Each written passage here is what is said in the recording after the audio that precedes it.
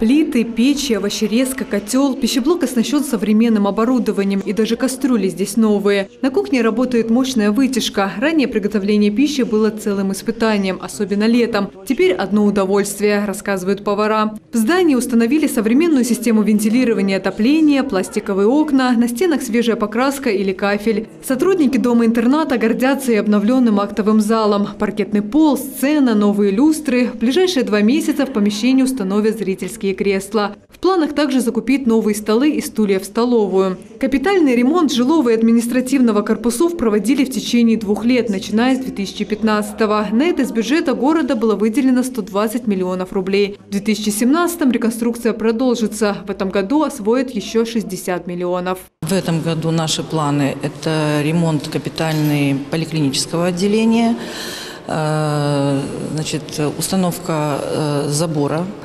соответствующего требованиям э, Российской Федерации с установкой видео, системы видеонаблюдения и замена наружного участка канализации во внутреннем дворе дома-интерната. Дом-интернат для престарелых инвалидов посетил глава Севастополя Дмитрий Владимирович Овсянников. Руководитель города поздравил ветеранов с Днем защитника Отечества, вручил им цветы и подарки. Далее беседа без прессы за закрытыми дверями, чтобы лично пообщаться с каждым, услышать и помочь. Сегодня в доме-интернате фактически нет свободных мест. Здесь проживает 179 человек. Нам очень важно поддерживать э, учреждения, забота о престарелых инвалидах является приоритетом в работе. И если станет теплее, уютнее, если мы сможем сделать хоть на шаг лучше, я буду считать, что работа правительства в этом направлении может быть оценена лучше, положительнее. Во время визита глава Севастополя отметил, полная реконструкция дома-интерната для престарелых инвалидов должна завершиться к концу 2019 года.